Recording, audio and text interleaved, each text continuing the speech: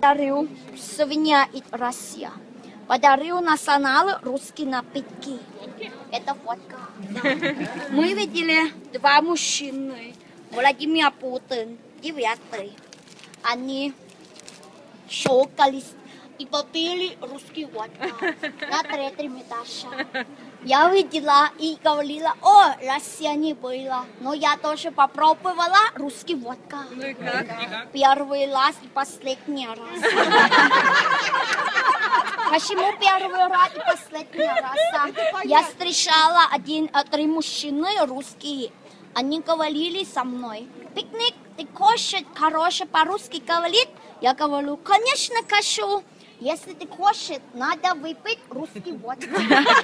Они дали полстакана. Я сразу полстакан. Хочу попробовать.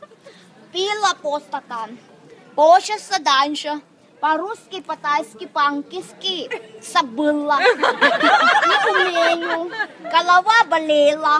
Лицо поменялось, свет гаснет. Три мужчины видели и говорили, ой, ты мало пила. Давайте еще полстакана, не будет болеть. Я говорю, еще полстакана не буду болеть, правильно, буду умирать. Три мужчины, я знаю, что они еще хотят, потому что они не только меня хорошо говорят по-русски, они хотят меня попробовать.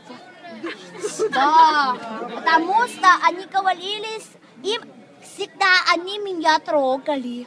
Да, я, я говорю три, одна неправильно. Один, один, хорошо.